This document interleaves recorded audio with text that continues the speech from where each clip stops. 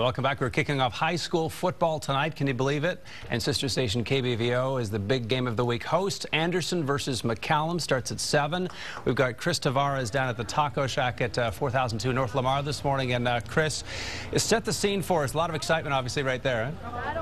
Yeah, it's bright and early. These guys haven't even been to school yet, but they're ready for the game. It's the annual Taco Shack Bowl. Like you said, it's Anderson versus McCallum. We've got that game tonight on KBVO, but they have the Taco Shack here in Lamar and at 40 all decorated. Everybody's excited, lots of spirit, hoping to snap a three-game losing streak to Anderson. These guys have been here all morning, came out here late last night to set up the Taco Shack with lots of decorations. Everybody's feeling, hoping to snap that three-game losing streak, but a lot of excitement out here. They have pictures up, streamers going, cheerleaders are out here. We've got the band. We'll hear from them a little later on, but everybody's excited to start the high school football season, especially on TV against Anderson in our KBVO Big Game of the Week. Roger Wallace will have that call, but it's the start of high school football. There's an excitement in the air, and everybody here at the Taco Shack is feeling it, and they can't wait for tonight. Robert, Sally? Yeah, I guess that excitement kind of smells like breakfast tacos this morning. Hey, Pepsi and Walmart are involved in this too, right? They're giving away some cash to, uh, to those taking part.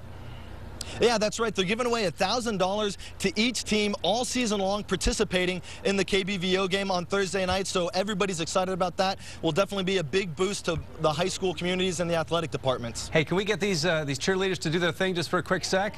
I want to hear them. Yeah, let's have it. Yeah. Guys, how excited are you? It's disorganized, but it's a cheer. There's some enthusiasm. Hey, by the way, coming up in the next half hour, we're going to be talking with uh, David Yeomans, who was uh, talking with some Anderson High cheerleaders. Let's show you that uh, full screen, where it's happening and when. Anderson versus McCallum. This is all AISD football tonight at 7.30, obviously over at House Park. It is the big game of the week again on KBVO.